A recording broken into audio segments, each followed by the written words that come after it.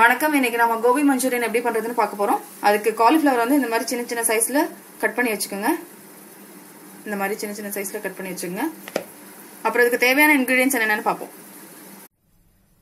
அரிசி மாவு எடுத்துங்க. கடலை மாவு மிளகா பொடி சீரகம் மிளகு பொடி இஞ்சி பூண்டு பேஸ்ட் அப்புறம் பச்சை மிளகா வந்து ரொம்ப பொடியா நறுக்கியிருக்கேன். ரெண்டு பச்சை மிளகா. ஒரு பெரிய வெங்காயம் வந்து நல்லா சின்ன சின்ன பீஸா நறுக்கி வச்சிருக்கேன். இப்போ காலிஃப்ளவர் எப்படி க்ளீன் பண்றதுன்னு பார்ப்போம். ஃபர்ஸ்ட் தண்ணியை வந்து அடுப்பில் வச்சு நல்லா கொதிக்க விட்ருங்க நல்லா கொதிக்கணும் அது. கொதிச்ச உடனே கொஞ்சம் சிம்மில் வச்சு காலிஃப்ளவரை அதில் ஆட் பண்ணிக்கோங்க.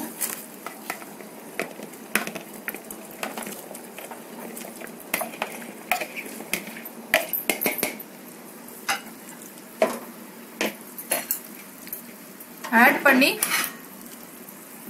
ஒரு தேர்ட்டி செகண்ட்ஸில் உடனே எடுத்துருங்க. ரொம்ப நேரம் தண்ணியில் இருக்கக்கூடாது. தண்ணியில் இருந்ததுன்னா நம்ம ஃப்ரை பண்ணும்போது எல்லாம் ஒன்னோட ஒன்று ஒட்டிக்கும். ஸோ ஒரு கரெக்டாக தேர்ட்டி செகண்ட்ஸில் இதை எடுத்துருங்க.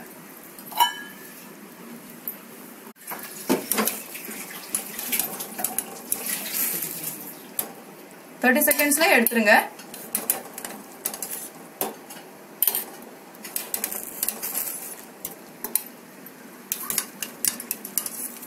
இப்போ காலிஃப்ளவர் ஃப்ரை பண்ணுறதுக்கு என்னென்ன போடுறதுன்னு பார்ப்போம். இஞ்சி பூண்டு பேஸ்ட் வந்து ஒரு ஒன் ஒரு ஸ்பூன் அளவுக்கு போடுங்க. அப்புறம் மிளகா பொடி வந்து ஒரு ஒரு ஸ்பூன் ஒன்றரை ஸ்பூன் போடுங்க.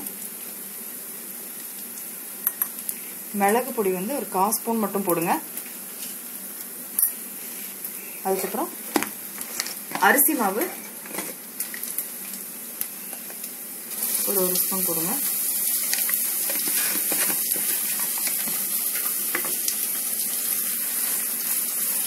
கடலை மாவு. ஒரு ரெண்டு ஸ்பூன் போடுங்க அப்புறம் தேவையான அளவு உப்பு ஆட் பண்ணிக்கோங்க.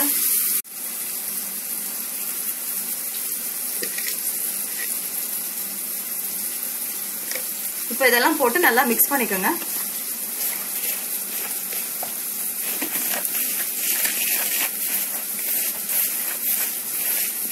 கொஞ்சம் தண்ணி ஊற்றி மிக்ஸ் பண்ணிக்கோங்க.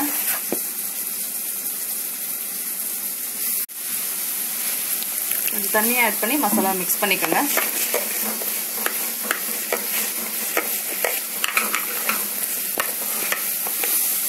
இன்னும் கொஞ்சம் தண்ணி கூட ஆட் பண்ண கொஞ்சம் திக்காக இருக்குது இன்னும் கொஞ்சம் தனியாக ஆட் பண்ணிக்கோங்க.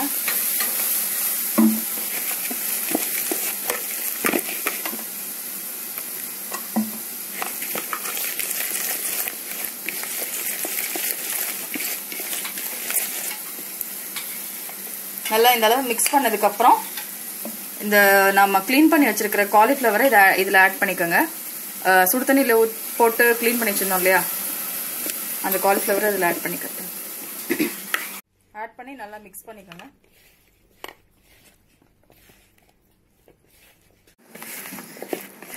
நல்லா மசாலாலாம் மிக்ஸ் பண்ணதுக்கப்புறம் இதை வந்து நம்ம டீப் ஃப்ரை பண்ண போகிறோம் இப்போ ஃப்ரை பண்ணுறதுக்கு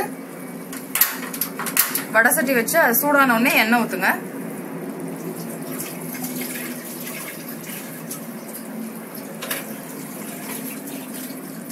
இப்போ எண்ணெய் சூடான உடனே நம்ம காலிஃப்ளவரை வந்து ஃப்ரை பண்ணலாம்.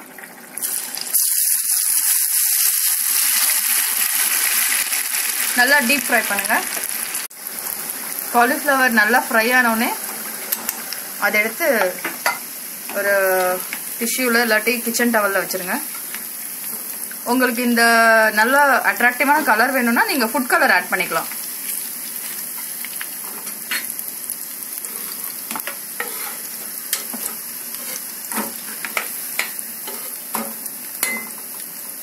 ரொம்ப நேரம் ஃப்ரை பண்ண தேவையில்லை. ஏன்னா இதை திரும்பவும் கிரேவியில் போட்டு கொஞ்சம் நேரம் வைப்போம். ஸோ ரொம்ப நேரம் ஃப்ரை பண்ண தேவையில்லை. உடனே அது வெந்திருக்கும். இந்நேரத்துக்கே வெந்திருக்கும் நல்லா. இப்போ காலிஃப்ளவர் எல்லாம் நான் ஃப்ரை பண்ணி வச்சிருக்கேன். உங்களுக்கு இன்னும் நல்லா கிறிஸ்பியாக இன்னும் டேஸ்டியாக வேணும்னா நீங்கள் டபுள் ஃப்ரை பண்ணலாம். இதை ஃப்ரை பண்ணி ஒரு தடவை எடுத்து வச்சுட்டு அதுக்கப்புறம் நம்ம கிரேவி தாளிக்கிற டைம்ல இன்னொரு தடவை ஃப்ரை பண்ணி எடுத்தீங்கன்னா அது இன்னும் நல்லா கிறிஸ்பியாக இருக்கும். டபுள் ஃப்ரை பண்ணுறதுனா நீங்கள் பண்ணிக்கலாம். இப்போ இந்த காலிஃப்ளவருக்கு கிரேவி எப்படி பண்ணுறதுன்னு பார்ப்போம். இப்போ கடாய் நல்லா சூடானோடனே நான் காலிஃப்ளவர் ஃப்ரை பண்ணுறதுக்கு யூஸ் பண்ண ஆயிலே கொஞ்சம் ஆட் பண்ணிக்கிறேன்.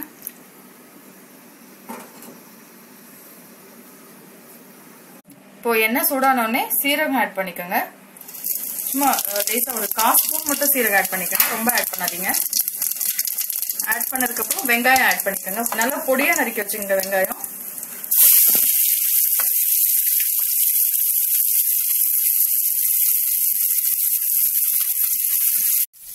வெங்காயம் ஆட் பண்ணிட்டு இந்த பொடியா நறுக்கி வச்சிருக்க பச்சை மிளகாவையும் ஆட் பண்ணிக்கோங்க.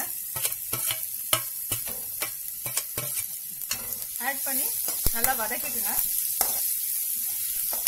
சால்ட் ஆட் பண்ணி வதக்குங்க. கொஞ்சம் சீக்கிரமா வதங்கிடும் உங்களுக்கு.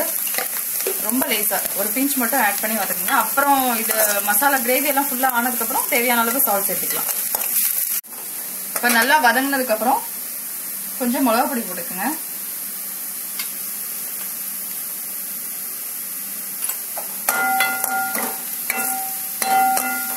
ஒரு ஒன்றரை ஸ்பூன் மிளகாப்பொடி போட்டுக்கங்க. போட்டு நல்லா வதங்கினோடனே இப்போ தேவையான அளவு உப்பு ஆட் பண்ணிக்கோங்க. இது கொஞ்சம் திக்கான கிரேவியாக இருக்கிறதுனால உப்பு கொஞ்சம் கம்மியாகவே ஆட் பண்ணுங்கள் ரொம்ப ஆட் பண்ணிடாதீங்க. ரொம்ப உப்பாக இருக்கும். டேஸ்ட் பண்ணி பார்த்துட்டு வேணும்னா ஆட் பண்ணிக்கோங்க.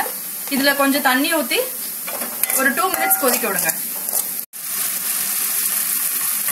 இந்த அளவு மட்டும் தண்ணி ஊற்றி இன்னும் கொஞ்சம் ஆட் பண்ணிக்கோங்க. ஆட் பண்ணி நல்லா கொதிக்க விடுங்க.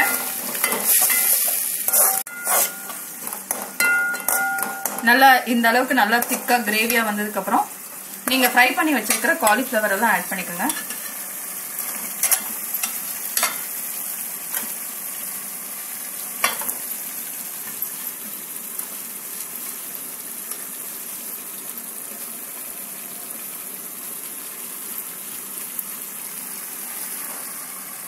ஆட் பண்ணி நல்லா பரட்டி விட்டுருங்க. மிக்ஸ் பண்ணிக்கோங்க.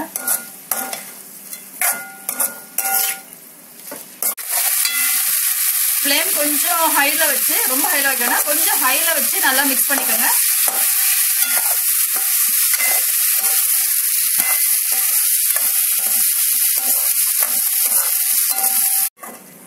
இப்போ கோபி மஞ்சூரியன் ரெடி ஆயிடுச்சு. இதுல வந்து இது நார்மல் ஸ்டைல்ல பண்ணிருக்கு. இப்போ இதை இண்டோ சைனீஸ் ஸ்டைல்ல பண்ணோம்னா அதுல கொஞ்சம் சோயா சாஸும் சில்லி சாஸும் ஆட் பண்ணிக்கோங்க. ஆனா நான் ஆட் பண்ண ஆட் பண்ணல. இதுல நார்மலா தான் பண்ணிருக்கேன். இப்போ கோபி மஞ்சூரியன் ரெடி ஆயிடுச்சு. இப்போ இது உங்களுக்கு கிரேவி டைப்ல வேணும்னா கொஞ்சம் கடலை மாவும் கொஞ்சம் தேங்காய் பவுடரும் மிக்ஸ் பண்ணி நம்ம கிரேவி ப்ரிப்பேர் பண்ணும்போதே அதில் ஊற்றிட்டோம்னா நம்மளுக்கு கொஞ்சம் கிரேவி டைப்பில் கிடைக்கும். இப்போ இதை டேஸ்ட் பண்ணி பார்த்துட்டு எப்படி இருக்குன்னு பார்ப்போம். டேஸ்ட் பண்ணி பாருங்க.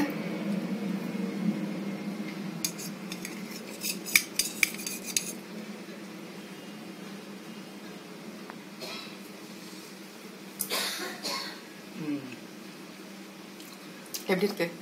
நல்லா ம் டேஸ்ட்டாக இருக்குது லைக் இது வந்து சாப்பிடும்போது சிக்கன் சாப்பிட்ற மாதிரி ஒரு டேஸ்ட் இருக்குது சிக்கன் மஞ்சூரியன் சாப்பிட்ற மாதிரியான ஒரு டேஸ்ட் தான் இருக்குது பட் இது வந்து காலிஃப்ளவரில் கோபி மஞ்சூரியன் நைஸ் நல்லா இருக்கு. தேங்க்யூ நீங்களும் ட்ரை பண்ணி பாருங்கள் ட்ரை பண்ணிவிட்டு லைக் பண்ணுங்க ஷேர் பண்ணுங்கள் கமெண்ட் பண்ணுங்க சப்ஸ்கிரைப் பண்ணுங்க. தேங்க்யூ